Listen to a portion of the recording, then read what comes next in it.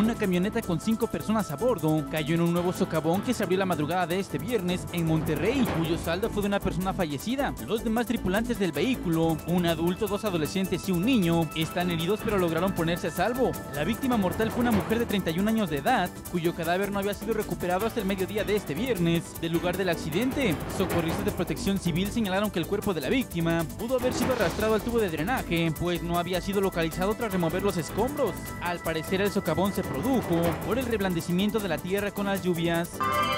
La Secretaría de Hacienda y Crédito Público aprobó 4.500 millones de pesos para iniciar la reconstrucción de inmuebles en las diferentes zonas de México que se vieron afectadas por los sismos del 7 y 19 de septiembre. Añadió que de este recurso ya se ejercieron 2.000 millones de pesos para atender la primera etapa de la emergencia e implicó el despliegue de organismos para que hubiera electricidad, agua, seguridad y apoyo en trabajos de rescate. Además señaló que en breve se liberarán más recursos para empezar la segunda etapa, que es la de reconstrucción. Este miércoles el presidente Enrique Peña Nieto estimó que para la reconstrucción de viviendas, escuelas, hospitales e inmuebles históricos se requerirán al menos 37.500 millones de pesos.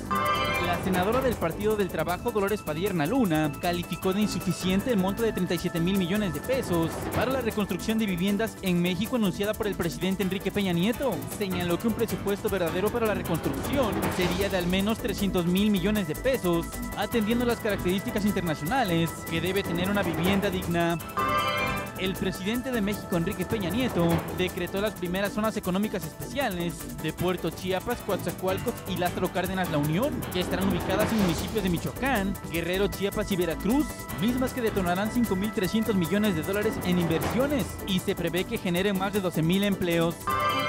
Organización Mundial de la Salud señaló que México es el país con más alto índice de estrés, donde según las estadísticas, el 75% de las personas económicamente activas padecen fatiga por estrés laboral. Añadió que las tres principales situaciones que estresan a un mexicano son perder a la pareja, la salud y cuestiones de inseguridad, por lo que es importante equilibrar las actividades diarias para mejorar la calidad de vida.